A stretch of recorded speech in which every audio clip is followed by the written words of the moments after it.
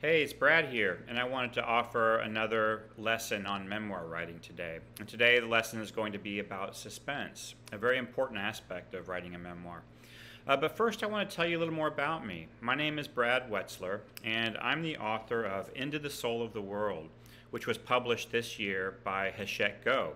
And um, it's the story of my 10 year journey of healing from uh, depression related to PTSD and also addiction. And it also chronicles my long career as an adventure travel writer um, for many of the major uh, top travel magazines and general interest magazines, including the New York Times and Newsweek and Outside and National Geographic, among others.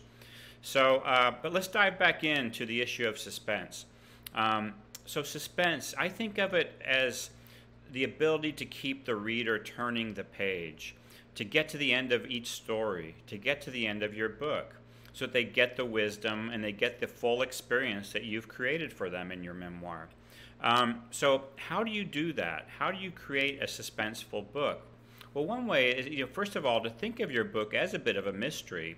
You know, you don't want to spill the beans um, too early in, in, a, in a particular story or scene, but also in, in the book. Yes, you want to use foreshadowing and use hinting at, at something that might occur in the future, but you don't want to spill the beans and, and let the air out of your stories.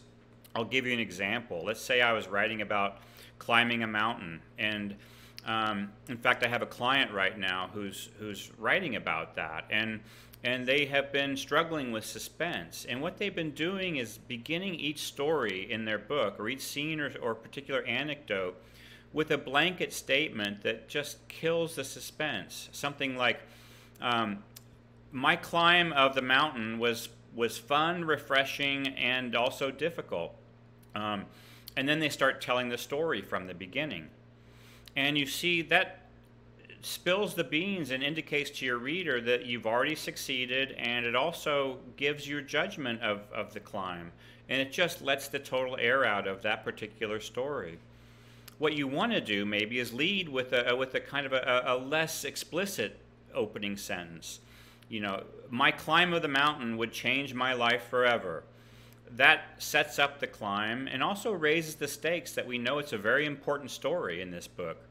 And then you can begin the story from the beginning. And then you write that story with a strong beginning and rising action and middle and an end. And then you can end with that kind of a statement that my client had, had used, which was sort of it was fun, refreshing, and, and difficult. By then, you know, the reader has has learned everything about the climb and experienced it with you. That's the more important thing. They've experienced the climb with you.